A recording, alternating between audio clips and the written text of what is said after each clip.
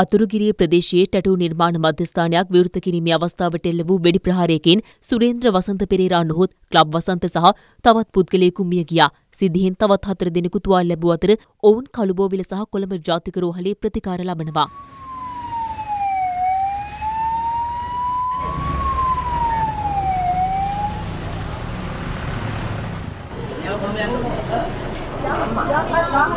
you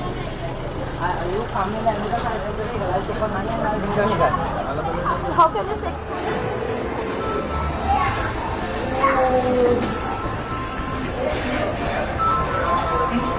Yes.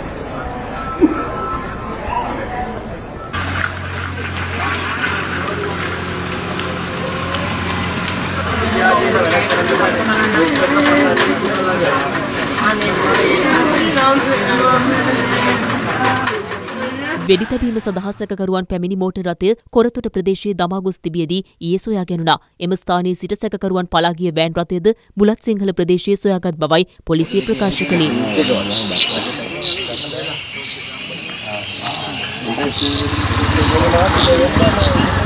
මෙම වාහන දෙකෙහිම යොදා තිබූ අංක තහඩු ව්‍යාජ ඒවා බවද පරීක්ෂණවලදී හෙළි වී තිබෙනවා. මෙම ඝාතන සිද්ධිය ඩුබායි රාජ්‍යයේ සිට මෙහෙවා ඇති බවට මූලික පරීක්ෂණවලදී හෙළි වූ බවයි පොලිස් මාධ්‍ය ප්‍රකාශක නියෝජ්‍ය පොලිස්පති නිහාල් තල්දුව මහතා ඊයේ ප්‍රකාශ කළේ.